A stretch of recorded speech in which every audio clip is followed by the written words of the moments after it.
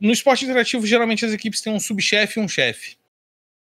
E o meu subchefe era o Wagner BB, que era comentarista MMA lá também, é, e, e, e, o BB ia sair. E ele era o coordenador das transmissões da WWE. E aí, ele, minha, segunda, minha primeira semana no esporte interativo, ele falou: Olha, você vai assumir a coordenação. Eu falei: Show, é, foi para isso que eu, que eu fui contratado. Na segunda semana, eu fui pro Switcher com o bebê. O bebê fez o programa todo, mostrando umas coisas, outras ali. Tudo bem. Na segunda, o Raw, na quarta, o Main Event. Na quarta-feira, a gente recebia do Caderno de Esportes, que era o principal programa da casa, né? Era o noticiário do esporte interativo. Então o bebê fez a transição. Na época, quem coordenava o Caderno de Esportes foi a Bruna Menezes, que veio trabalhar comigo também, pegou alguns programas de, de TNA e AEW. A AEW ainda não, mas TNA na época. Um beijo, Bruninha. Saudades. E ele fez a transição, levantou da cadeira e falou: Toma, o programa é seu. Eu falei: O quê? Sabe quando você fala aquele o quê que é a voz murcha? Você fala: O quê? E foi isso. Aí eu sentei, eu sabia que tinha uma butoneira na minha frente que eu me comunicava com todo mundo. Que delícia. Ele encostou na parede no cantinho.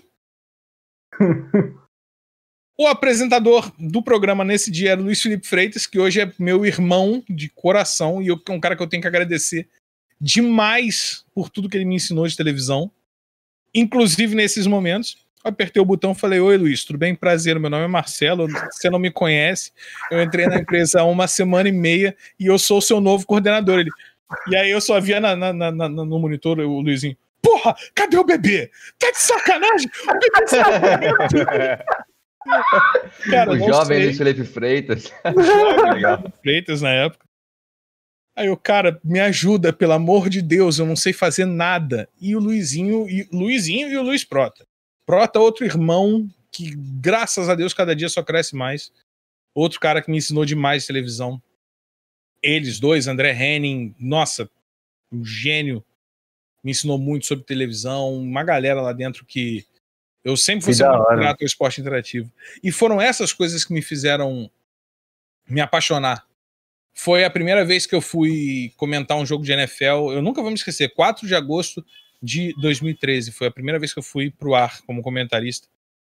Na época, Luiz Felipe Freitas narrando, Henrique Marques era o comentarista, e eu entrei como um terceiro, um segundo comentarista, um convidado especial. E aí o Luizinho narrava, o Henrique pegava e me passava o comentário, né? Porque o Henrique não sabia tanto assim de NFL, mas ele entendia de dinâmica de TV e que eu nunca tinha ido pro ar na minha vida, não entendia de dinâmica de TV. Então ele me passava a vez para eu falar. Chegou no intervalo do jogo, o Henrique levantou, bateu nas costas do Luizinho e falou: Pronto, agora a cabine é de vocês. E foi embora. Confiou no meu trabalho assim, cegamente. Inclusive, eu quase botei essa confiança inteira em jogo na quarta vez que eu fui pro ar. São histórias engraçadas de esporte interativo.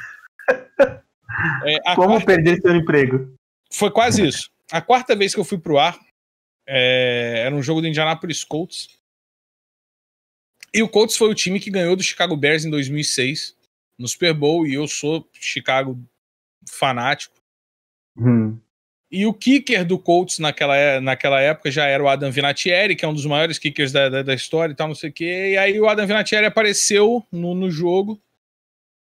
Ele fez um, fez um chute, fez um field goal e tal. Ele tava saindo, é Adam Vinatieri, grande Adam Vinatieri, deu um dedo pra câmera. Na hora, o coordenador não viu e cortou para a cabine. Então, no meio do, no meio do, do jogo, estou eu assim. E o Felipe Freitas metendo a mão aqui assim de lado, tipo, é, Marcelo Ferrantini, é exatamente isso. Desesperado, tipo, olhando arregalado assim. Eu falei, pronto, nunca mais eu vou pro ar. Acabou. Que beleza! Falei, nossa, vou ser demitido, nunca mais eu vou pro ar e tal. E aí chegou segunda-feira, o, o Henrique meu parou Deus do meu lado, Deus. virou e falou assim: Olha, eu não vou falar nada, mas você aprendeu que se você tá no ar e tem uma câmera na sua frente, tudo pode ir pro ar? Tudo pode ir pro ar. E nunca mais aconteceu. Nunca mais. Doeu mais do que qualquer bronca que eu poderia ter tomado. Doeu mais do que qualquer bronca que eu pudesse ter tomado.